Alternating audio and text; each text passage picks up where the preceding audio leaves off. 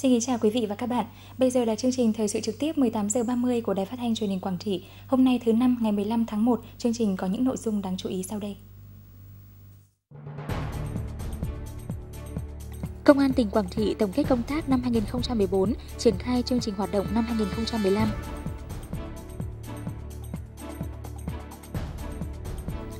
Hôm nay kỷ niệm 105 năm ngày sinh của đồng chí Trần Hữu Dực, nguyên Phó Thủ tướng Chính phủ, một nhà cách mạng tiền bối, một người con ưu tú của quê hương Quảng Trị.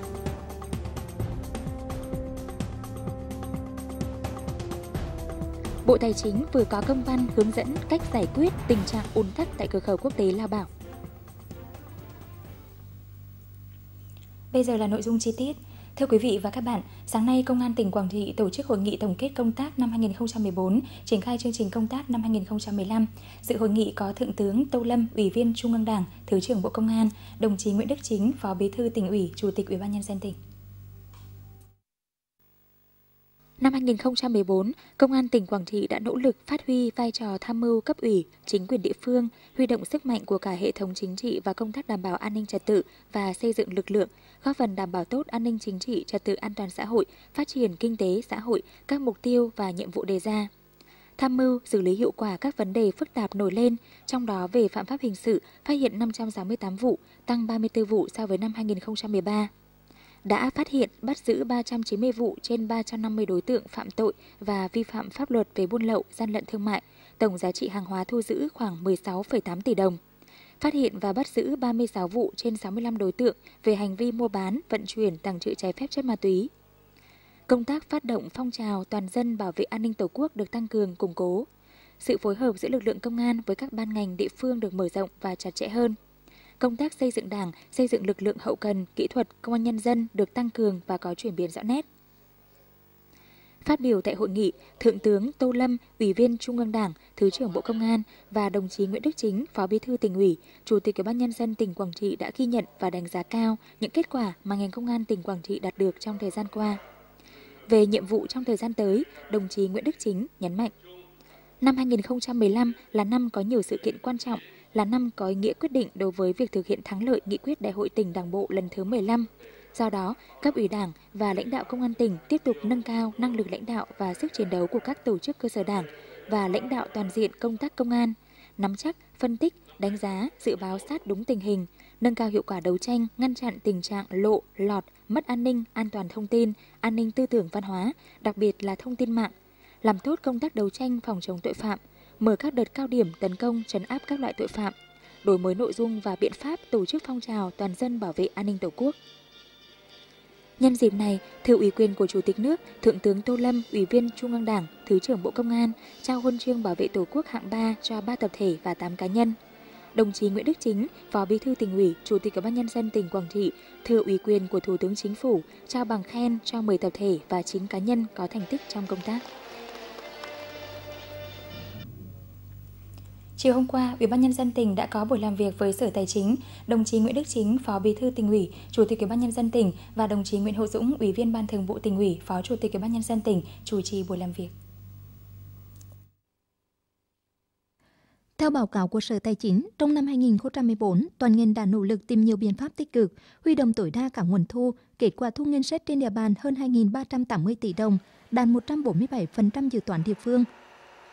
Bên cạnh đó, ngành đã tăng cường công tác quản lý chi ngân sách chặt chẽ, tiết kiệm, phù hợp với khả năng thu, tham mưu cho Ủy ban Nhân dân tỉnh đảm bảo các nhu cầu chi cho các nhiệm vụ phát triển kinh tế xã hội, an sinh xã hội, an ninh quốc phòng và công tác phòng chống khắc phục dịch bệnh. Để hoàn thành nhiệm vụ thu chi ngân sách năm 2015, đồng chí Nguyễn Đức Chính, Chủ tịch Ủy ban Nhân dân tỉnh yêu cầu ngành tài chính cần phối hợp chặt chẽ với các ngành trong việc lập dự toán, hướng dẫn thu chi và giám sát việc thực hiện dự toán ngân sách và giải quyết những vấn đề vướng mắc khó khăn của tỉnh – Bên cạnh đó tiếp tục thực hiện tốt việc cải cách hành chính, bồi dưỡng nâng cao trình độ chuyên môn nghiệp vụ cho đội ngũ cán bộ, ứng dụng có hiệu quả công nghệ thông tin vào trong quá trình thực thi nhiệm vụ. Cũng trong chiều hôm qua, đồng chí Nguyễn Văn Hùng, Phó Bí thư tỉnh ủy, Bí thư Thành ủy, Chủ tịch Hội đồng nhân dân thành phố Đông Hà đã có buổi nói chuyện về tình hình kinh tế xã hội trong năm 2014 cho hội viên câu lạc bộ Đường 9. Tại buổi nói chuyện, đồng chí Nguyễn Văn Hùng đã thông tin cho các hội viên nắm tình hình về kết quả thực hiện kế hoạch phát triển kinh tế xã hội năm 2014, chỉ tiêu, nhiệm vụ năm 2015 của thành phố Đông Hà. Trong số 15 chỉ tiêu về phát triển kinh tế xã hội năm 2014 thì có 14 chỉ tiêu đạt và vượt kế hoạch. Công tác xây dựng đảng trên địa bàn thành phố luôn được chú trọng, nhất là làm tốt công tác quy hoạch và luân chuyển cán bộ.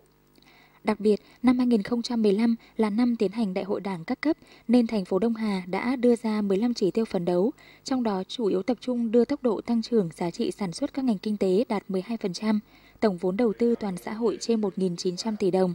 tổng thu ngân sách trên địa bàn 230,4 tỷ đồng, giảm tỷ lệ hộ nghèo khoảng 0,5% đồng chí Nguyễn Văn Hùng, Phó Bí thư tỉnh ủy, Bí thư Thành ủy, Chủ tịch Hội đồng nhân dân thành phố Đông Hà mong muốn các hội viên câu lạc bộ Đường Chín tiếp tục cống hiến sức lực, trí tuệ để xây dựng thành phố ngày một đổi thay đồng thời đóng góp nhiều ý kiến giúp cho lãnh đạo thành phố Đông Hà chỉ đạo tổ chức thực hiện thắng lợi nghị quyết đại hội Đảng bộ thành phố đề ra và kế hoạch phát triển kinh tế xã hội của thành phố trong năm 2015. Sáng nay, Ban tuyên giáo tỉnh ủy đã tổ chức hội nghị tổng kết công tác tuyên giáo năm 2014 và triển khai nhiệm vụ năm 2015. Đến dự có đồng chí Nguyễn Văn Hồng, Phó Bí thư tỉnh ủy, Bí thư Thành ủy Đông Hà, đồng chí Nguyễn Hữu Dũng, Ủy viên Ban Thường vụ tỉnh ủy, Phó Chủ tịch Ủy ban nhân dân tỉnh, đồng chí Thái Văn Hoạt, Ủy viên Ban Thường vụ tỉnh ủy, Chủ nhiệm Ủy ban Kiểm tra tỉnh ủy. Đồng chí Nguyễn Văn Hồng, Ủy viên Ban Thường vụ, Trưởng ban tuyên giáo tỉnh ủy chủ trì hội nghị. Năm 2014, toàn ngành tuyên giáo đã tích cực chủ động tham mưu cho cấp ủy các cấp lãnh đạo chỉ đạo kịp thời toàn diện và có hiệu quả trên các lĩnh vực, tham mưu xây dựng kế hoạch triển khai các nghị quyết của Đảng, đồng thời chú trọng công tác bồi dưỡng, đào tạo lý luận chính trị cho cán bộ đảng viên, công tác tuyên truyền thực hiện có trọng tâm, trọng điểm sát với tình hình của đất nước và của địa phương. Thường xuyên nắm bắt tình hình dư luận xã hội, đề xuất với cấp ủy, chính quyền, ban hành các chính sách trong quá trình lãnh đạo phát triển kinh tế xã hội, góp phần tích cực tạo sự thống nhất cao trong Đảng và sự đồng thuận của nhân dân, giữ vững sự ổn định chính trị, đảm bảo công tác quốc phòng, an ninh. Phát biểu tại hội nghị, đồng chí Nguyễn Văn Hùng, Phó Bí thư tỉnh ủy, Bí thư Thành ủy thành phố Đông Hà nhấn mạnh: Năm 2015, ngành tuyên giáo cần tham mưu cấp ủy các cấp, chỉ đạo đại hội Đảng các cấp, tăng cường công tác tuyên truyền vận động quần chúng nhân dân thực hiện tốt các phong trào thi đua yêu nước, Tiếp tục đẩy mạnh thực hiện có hiệu quả chỉ thị 03 của Bộ Chính trị về tiếp tục đẩy mạnh việc học tập và làm theo tấm gương đạo đức Hồ Chí Minh, bám sát thực tế, đổi mới nội dung và phương thức hoạt động. Các cấp ủy đảng, chính quyền cần quan tâm hơn nữa đến việc bố trí kinh phí, xây dựng cơ sở vật chất cũng như bổ sung biên chế, tạo điều kiện cho ngành tuyên giáo hoạt động. Nhân dịp này, nhiều tập thể cá nhân đã được trao tặng bằng khen của Thủ tướng Chính phủ, bằng khen của Ủy ban Nhân dân tỉnh, danh hiệu Chiến sĩ thi đua cấp tỉnh vì có thành tích xuất sắc trong công tác tuyên giáo năm 2014. Thưa quý vị và các bạn, hôm nay kỷ niệm 105 năm ngày sinh Phó Thủ tướng Trần Hữu Dực 15 tháng 1 năm 1910, 15 tháng 1 năm 2015, lãnh đạo huyện Triệu Phong tổ chức lễ viếng dân hương tại nhà tưởng niệm ở làng Dương Lệ Đông, xã Triệu Thuận, huyện Triệu Phong. Tham dự lễ có đại diện lãnh đạo Bộ Quốc phòng, chính quyền và nhân dân xã Triệu Thuận cùng thân nhân gia đình Phó Thủ tướng. Tại lễ viếng, các đồng chí lãnh đạo đảng, chính quyền và nhân dân địa phương đã dân hương bày tỏ lòng thành kính và tri ân những công hiến to lớn của Phó Thủ tướng Trần Hữu Dực cho sự nghiệp đấu tranh giải phóng dân tộc và xây dựng đất nước. Sinh ra trong một gia đình có truyền thống yêu nước nên từ lúc 15 tuổi, đồng chí Trần Hữu Dực đã giác ngộ và tham gia hoạt động cách mạng – Đồng chí là một trong bảy đảng viên Cộng sản trong nhóm Cộng sản đầu tiên tại Quảng Trị khi chưa tròn 20 tuổi. Suốt đời phấn đấu cho lý tưởng cách mạng của Đảng, vượt qua mọi thử thách nghiệt ngã trong các nhà tù đế quốc thực dân, sống gắn bó với đồng bào, đồng chí. Đồng chí Trần Hữu Trực đã khẳng định ý chí kiên trung của người chiến sĩ Cộng sản, được Đảng và Nhà nước giao nhiều trọng trách như Chủ tịch Ủy ban Hành chính Trung Bộ, Viện trưởng Viện Kiểm sát Nhân dân tối cao, Phó Thủ tướng Chính phủ. Đồng chí là Ủy viên Ban chấp hành Trung ương Đảng khóa 1, khóa 2, khóa 3, khóa 4, đại biểu Quốc hội từ khóa 1 đến khóa 6. Dù trong cương vị công tác nào, đồng chí Trần Hữu Dực vẫn luôn là tấm gương mẫu mực về lề lối làm việc, đức tính cần kiệm liêm chính, hết lòng phụng sự tổ quốc. Thưa quý vị và các bạn, đồng chí Trần Hữu Dực, một chiến sĩ cộng sản tiền bối, một người con ưu tú của quê hương Quảng Trị, suốt cuộc đời hoạt động cách mạng của mình, đồng chí đã có những đóng góp quan trọng vào sự nghiệp đấu tranh, giải phóng dân tộc, thống nhất tổ quốc và xây dựng đất nước đồng chí là một tấm gương sáng về sự kiên định lý tưởng, cống hiến hết mình cho Đảng, cho dân tộc. Đây là một buổi sinh hoạt ngoại khóa của các em học sinh lớp 5A, trường tiểu học Trần Hữu Dực tại nhà lưu niệm Phó Thủ tướng ở làng Dương Lệ Đông, xã Triệu Thuận, huyện Triệu Phong. Cùng với lời kể của cô giáo, những tư liệu về tranh ảnh, các bài viết, Các vật dụng cá nhân đã giúp các em có được cái nhìn chân thực và sinh động về cuộc đời, sự nghiệp cách mạng của Phó Thủ tướng Trần Hữu Dực. Hoạt động này đã đem lại hiệu quả thiết thực trong việc giáo dục truyền thống cách mạng của quê hương cho các em học sinh. Em cảm thấy rất thích thú với buổi học ngày khóa này. Chúng em được tận mắt nhìn thấy nhiều hình ảnh tư liệu của Phó Thủ tướng Trần Hữu Dực. Biết ông là một nhà cách mạng tài giỏi, đã đóng góp nhiều to lớn cho dân tộc ta. Và chúng em rất tự hào khi được học giữa mái trường được mang tên Phó Thủ tướng Trần Hữu Dực. Sinh ra trên mảnh đất nghèo, giàu truyền thống cách mạng. Dù tuổi còn nhỏ, nhưng ông đã sớm thấu hiểu nỗi cơ cực lầm than của người dân nô lệ. Từ lúc 15 tuổi đến khi chút hơi thở cuối cùng ở tuổi 83, Phó Thủ tướng Trần Hữu Dực đã một lòng phụng sự cho sự nghiệp cách mạng của Đảng, của dân tộc. Trong cuộc đời hoạt động cách mạng đầy cam go, gian khổ ấy, ông vẫn luôn khẳng định sự kiên trung, mẫu mực của một đảng viên tiền bối. Dù ở cương vị nào, ông cũng đều đặt lợi ích quốc gia, dân tộc trên tất cả. Gia đình, dòng tộc, quê hương luôn nhớ về ông với niềm tự hào sâu sắc. Tôi lấy ngày 15 tháng 1 là làm ngày hội truyền thống của xã. Thì hiện nay tại nhà tưởng niệm có lưu giữ trên 100 cái hình ảnh tư liệu à, các cái vật dụng mà trong quá trình hoạt động của đồng chí à, Trần Hữu Dực phó tướng chính phủ à, để lưu giữ lại thì à, mỗi hình ảnh mỗi tư liệu phản ánh cái phẩm chất đạo đức cách mạng của người chiến sĩ cộng sản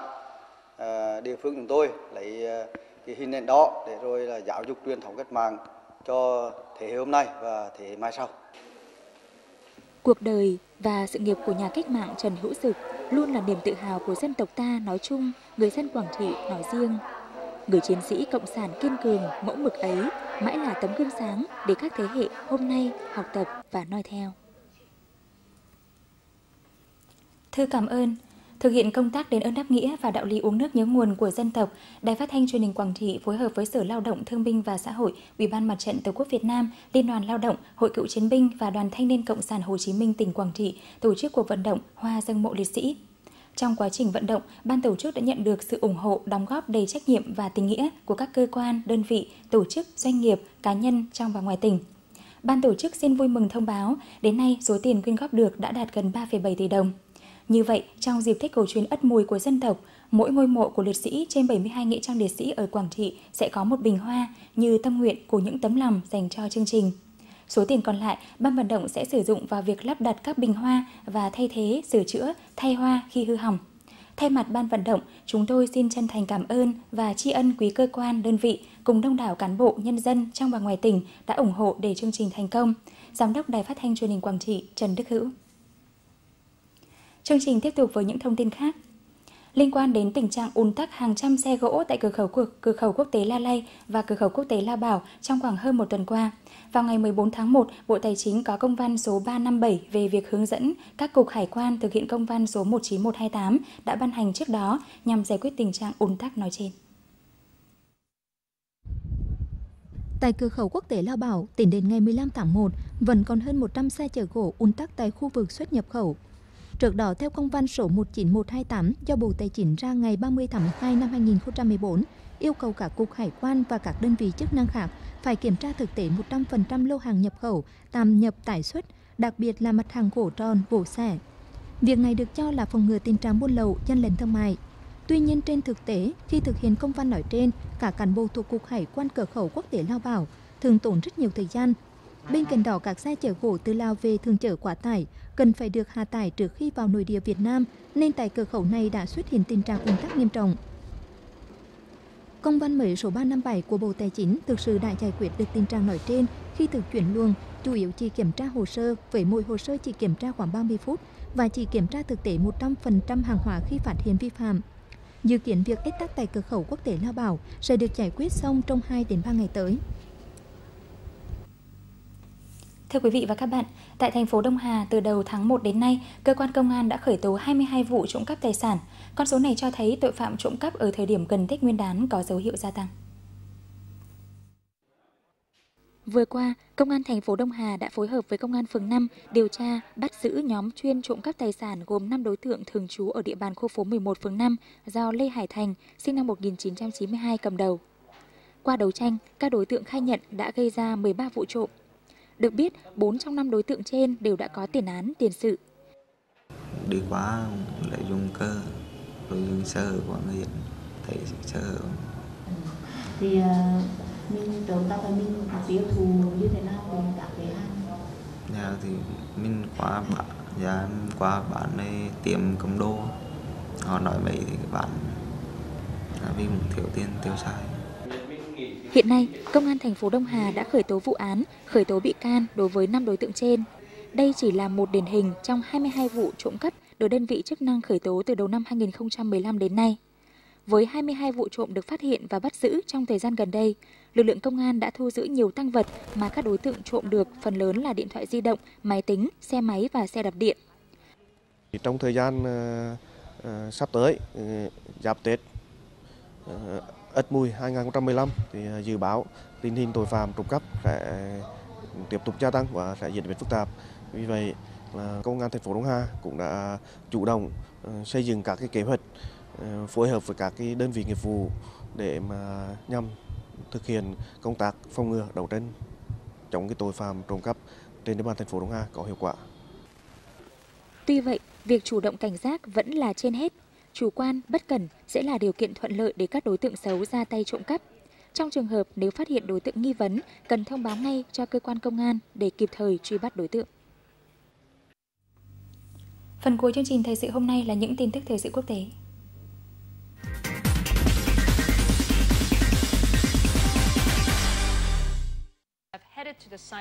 Hôm nay 15 tháng 1, các thợ lặn tiếp tục tác nghiệp tại hiện trường trong nỗ lực trục vớt thêm các thi thể đang mắc kẹt bên trong thân máy bay QZ8501 sau khi bộ phận này được phát hiện bởi một tàu khu trục Singapore tham gia vào đội tìm kiếm.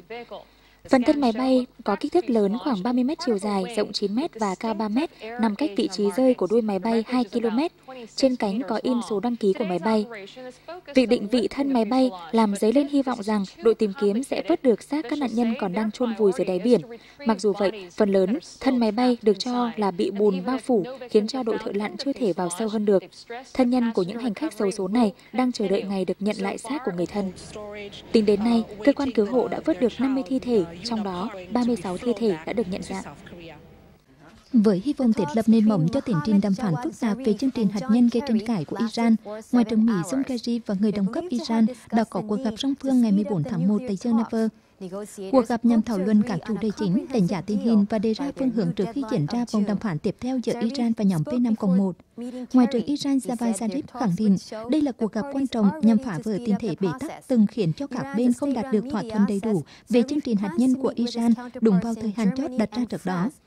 Còn Ngoại trưởng Mỹ Kerry bày tỏ hy vọng sẽ thúc đẩy quá trình đàm phán về chương trình hạt nhân của Iran, tìm cách thảo gỡ những bế tắc nhằm đạt được sự tiến bộ. Sau cuộc gặp giữa hai ngoại trưởng, hoạt động tham vấn song phương sẽ được khởi động. Tiếp đến ngày 18 tháng 1 tại Geneva sẽ bắt đầu vòng đàm phán cấp cao giữa nhóm P5 1. Lầu Năm Góc Mỹ thông báo ngày 14 tháng 1 theo giờ địa phương, năm tù nhân Yemen bị giam giữ hơn 10 năm qua ở nhà tù của Hải quân Mỹ tại vịnh Guantanamo của Cuba đã được trả tự do. Theo đó, một tù nhân được chuyển tới Estonia, trong khi bốn người còn lại được chuyển tới Oman. Năm tù nhân này bị bắt giữ tại Pakistan vì bị tình nghi là thành viên của mạng lưới khủng bố quốc tế Al-Qaeda. Với quyết định trên của Mỹ, hiện vẫn còn 122 tù nhân bị giam giữ ở nhà tù Guantanamo. Động thái trên là một phần trong nỗ lực của Tổng thống Mỹ Barack Obama nhằm đóng cửa trại giam quân sự gây tranh cãi này, vốn được lập nên để giam giữ những nghi can khủng bố sau các vụ tấn công vào ngày 11 tháng 9 năm 2001. Một nhóm người ở miền Trung Nhật Bản đã tổ chức nghi lễ cầu nguyện để có sức khỏe tốt trong năm mới bằng cách về nước nóng vào cơ thể. Nghi lễ này được tổ chức khoảng 200 năm nay. Sự kiện hàng năm này diễn ra ở thành phố Ise. Một vị tu sĩ nhúng nắm lá tre vào trong nước sôi, sau đó về nước sôi lên những người tham dự tập trung xung quanh. Nước nóng được tin là có thể gột sạch những điều xấu xa, tội lỗi khỏi cơ thể và tâm hồn, cũng như mang lại may mắn cho những người chịu đựng nước nóng. Mọi thành viên trong gia đình tôi đều khỏe mạnh khi chúng tôi tham gia sự kiện này hàng năm. Những người tham gia được phân phát lá tre dùng trong nghi lễ và họ mang về để vào vị trí trang trọng trong nhà mình. Những tin tức quốc tế vừa rồi cũng đã kết thúc chương trình Thời sự trực tiếp 18 giờ 30 hôm nay của Đài Phát thanh Truyền hình Quảng Trị. Cảm ơn quý vị và các bạn đã dành thời gian theo dõi. Xin kính chào và hẹn gặp lại.